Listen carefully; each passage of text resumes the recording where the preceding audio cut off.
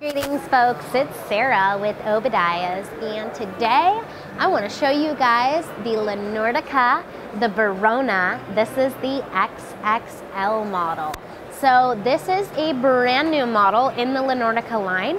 I'm pretty excited to show it to you guys and be able to offer it in North America. Um, so this particular model that we have here is shown in stainless steel. So it is available in two color options, either stainless steel or all black. Now this model does have a center flue, um, which is kind of unique because a lot of these stacked models will sometimes have like a side vent, which kind of throws it off for some people. So again, center flue can be a top or a rear vent model. This is gonna be a convection style stove.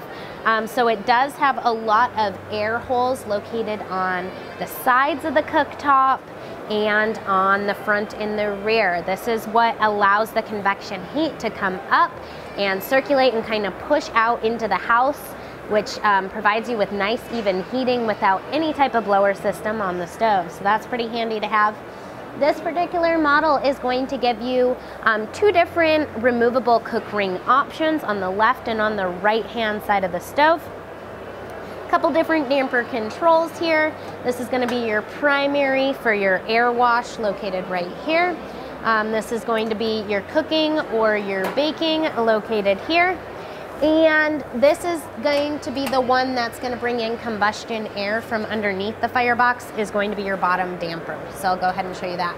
Um, so this does have a nice wide viewing area. Um, the glass is kind of more linear looking. This is definitely a very contemporary styled stove. Inside we do have a fully gasketed firebox door. In this model, it is going to pretty much be a ceramic firebox. So the sides in the rear of the firebox are going to be a ceramic finish, and then the bottom grate is going to be cast iron. Um, ash pan located directly under the firebox inside kind of a smaller ash pan. You might need to empty this out more frequently. Honestly, it kind of depends what you're burning. If you're burning a lot of paper and that sort of thing, you'll definitely be emptying your ash pan more than you would otherwise have to. Um, nice tight fit on the doors, so I like that. That tells me this is gonna be a very airtight stove. Oven is located on the bottom, so uh, um, I guess one thing I'll point out is, you know, you kind of got to get like way down here to get stuff in and out of your oven. That's um, definitely something my customers ask me about when purchasing these stacked models.